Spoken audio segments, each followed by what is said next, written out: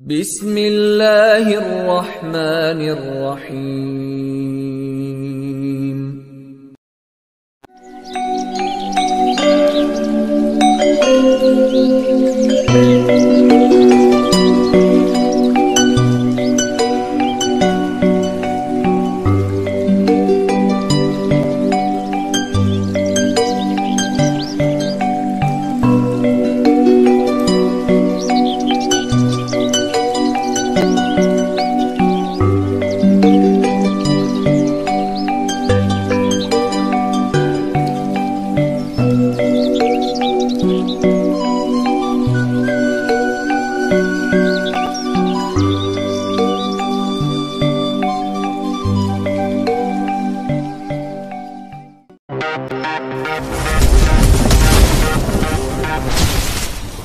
بسم الله الرحمن الرحيم السلام عليكم ورحمة الله وبركاته الحمد لله رب العالمين والصلاة والسلام على أشرف الأنبياء والمرسلين سيدنا ومولانا محمد وعلى آله وصحبه أجمعين أما بعد Salam persaudaraan dan cinta damai untuk saudara dan sahabatku.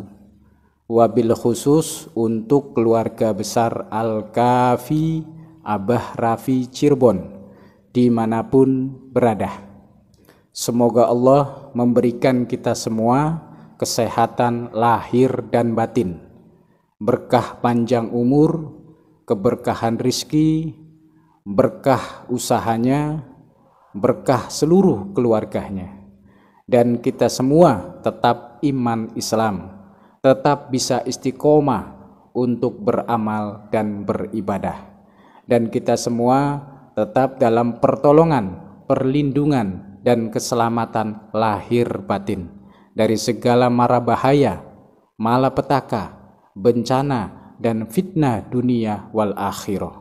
Amin ya Rabbal Alamin. Saudara dan sahabatku di mana pun berada. Seperti biasa, di awal perjumpaan kita, marilah bersama-sama untuk membaca solawat Nabi. Semoga Allah meridoi dan memberikan barokah dan syafaat Rasulullah Sallallahu Alaihi Wasallam untuk kita semua. Bismillahirrahmanirrahim.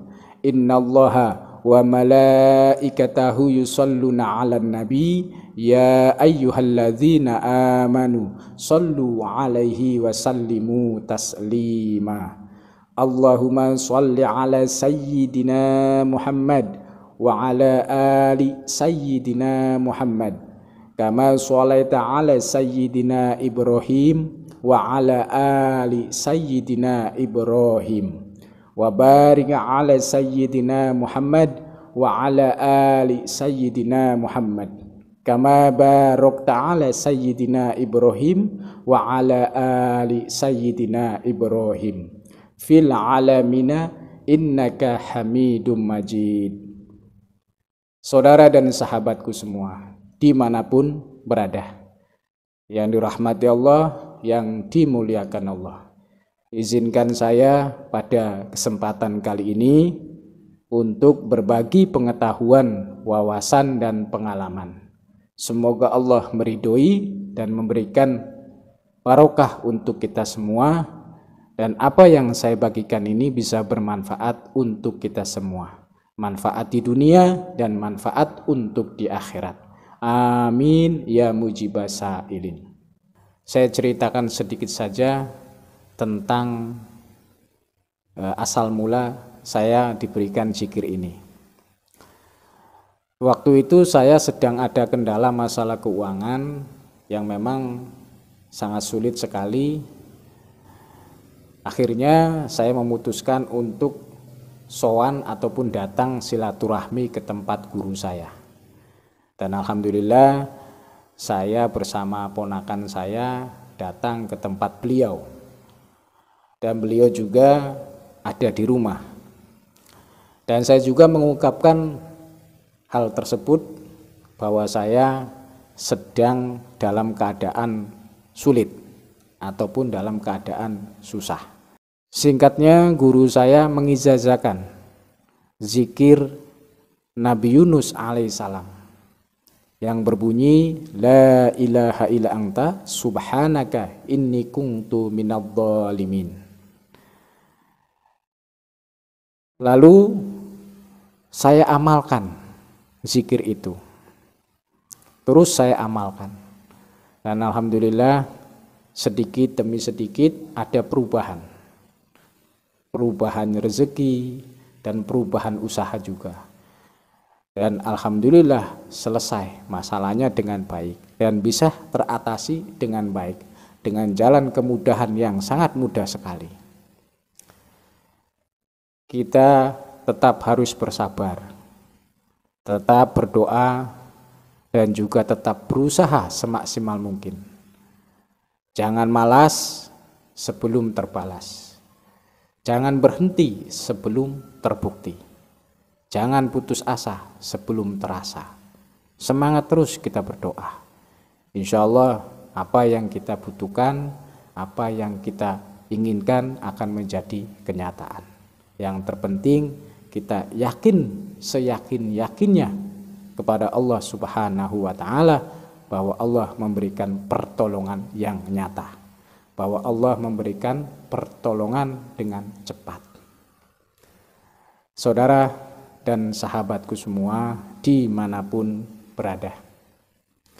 Memang banyak sekali tata cara zikir ataupun tasbih Nabi Yunus ini. Tata caranya variasi banyak sekali. Yang diijazakan oleh guru saya ini tata caranya seperti ini. Harap disimak dengan baik. Tonton video saya sampai selesai agar tidak gagal faham. Kita sholat hajat dua rakaat.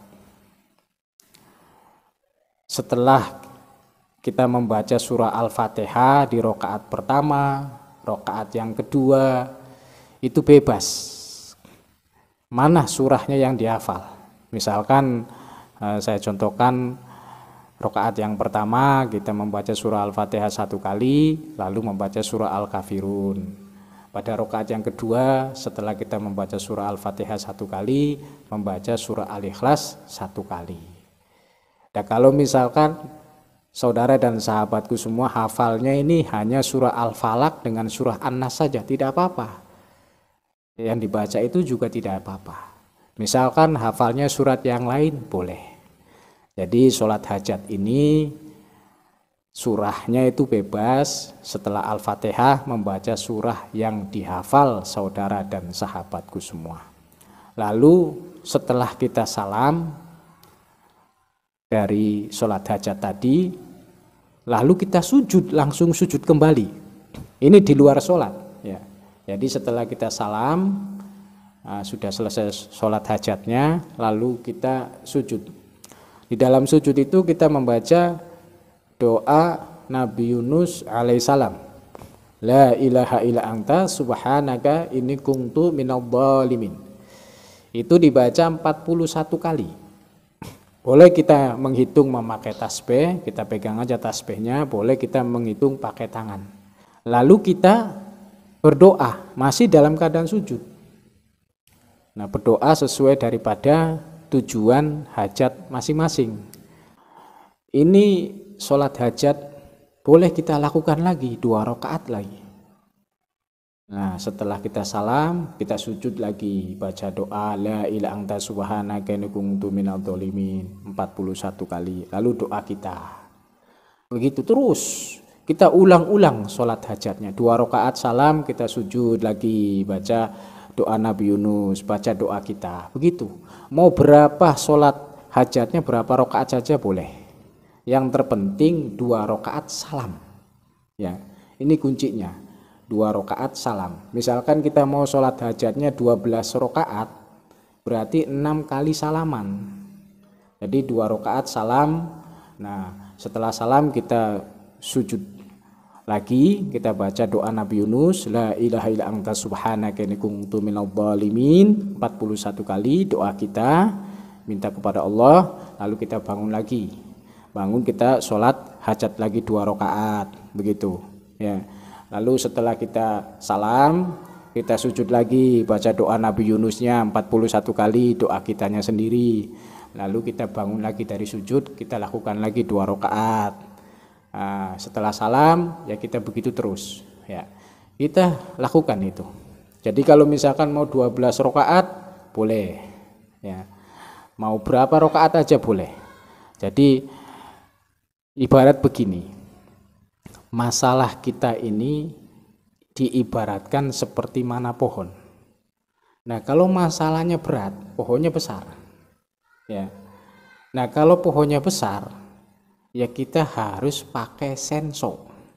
Ya. Kalau di sini bilangnya senso itu alat yang yang besar untuk memotong eh, pohon yang besar gitu kan. Nah, kalau kita pakai silet ataupun pakai pisau kecil, memang akan bisa tumbang pohon itu tapi lama jadi saya sarankan kalau kita sholat hajat karena kita ini ada hajat kebutuhan ya sholat hajatnya. Yang tadi yang saya sarankan jangan dua rakaat. Kalau bisa yang banyak saja. Jadi semakin banyak akan semakin baik. Akan tetapi kita harus paham kuncinya ya tadi dua rakaat salam. Setiap dua rakaat salam. Begitu ya. Ini waktunya kapan kita amalkan? Waktunya minimal setelah sholat isya.